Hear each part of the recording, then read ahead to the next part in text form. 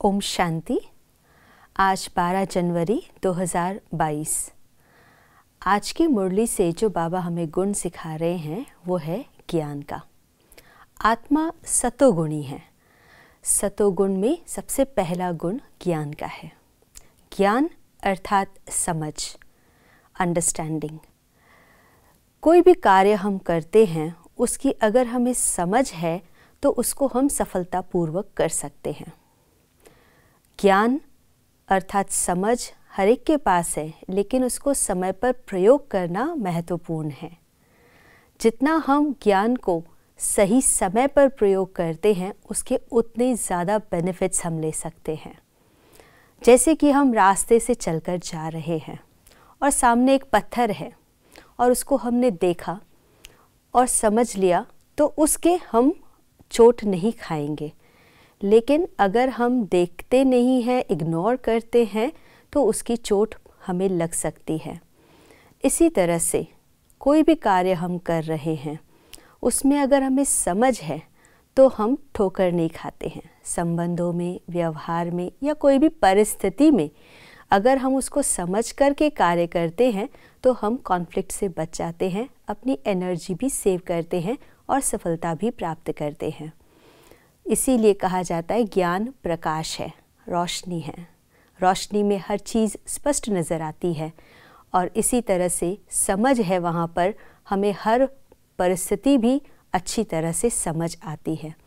तो ज्ञान केवल इन्फॉर्मेशन नहीं है। इन्फॉर्मेशन अर्थात जानकारी, एक होता है जानना और दूसरा होता है मानना, और तीसरा है उस पर चलना। तो जब इन्फॉर्मेशंस है हमारे सारी संसार में सबके पास, लेकिन उनको जब तक हम समझेंगे नहीं, मानेंगे नहीं और उसको प्रैक्टिस में नहीं लाएँगे, तब तक उसका बेनिफिट नहीं ले सकते हैं।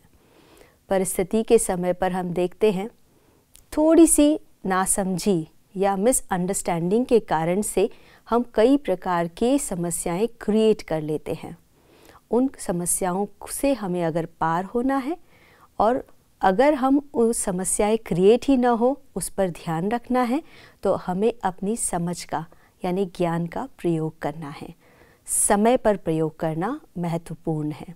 समय के बाद अगर वो बात स्मृति में भी आती है तो नुकसान तो हो ही जाता है।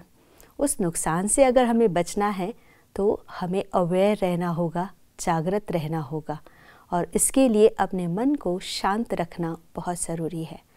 जितना हमारा मन शांत होगा, हम अंतर्मुख होंगे, हमारा मनन श्रेष्ठ होगा, शुद्ध होगा, उतना हम परिस्थितियों को सही रीति से समझ पाएँगे।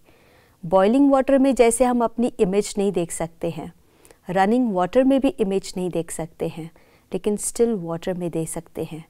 इसी तरह से हमारा स्थिर मन होगा तो हम अपने अंदर के ज्ञान को प्रयोग में सही रीति से ला सकते हैं। आज का दिवस अपने मन को स्थिर रख करके हर एक परिस्थिति को समझ करके उसका रिस्पॉन्ड करें। ओम शांति।